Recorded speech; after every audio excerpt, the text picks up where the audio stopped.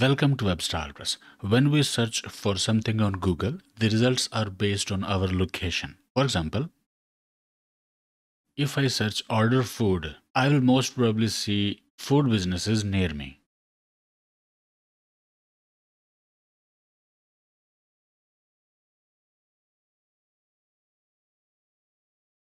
But what if we want to see what's trending in another country? Let's say United States. Maybe you want to check which products are selling well in the United States under the same keyword, or perhaps you are doing market research to find a profitable niche for a specific country.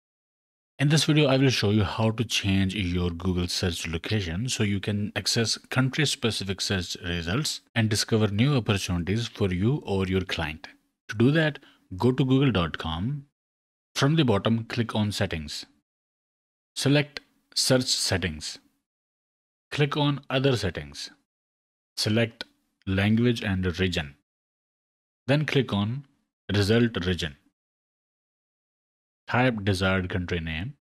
Select the country and click Confirm.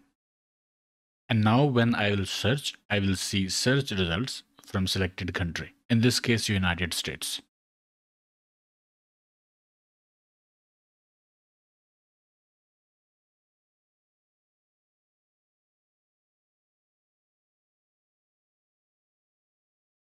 Revert region preference back to default, you'll have to repeat the same process and select your region.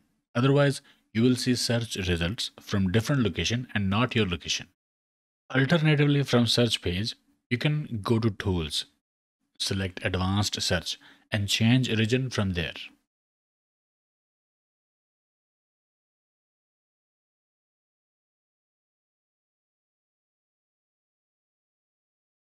This technique is very important in SEO during keyword research, niche research, and local SEO for clients from different countries.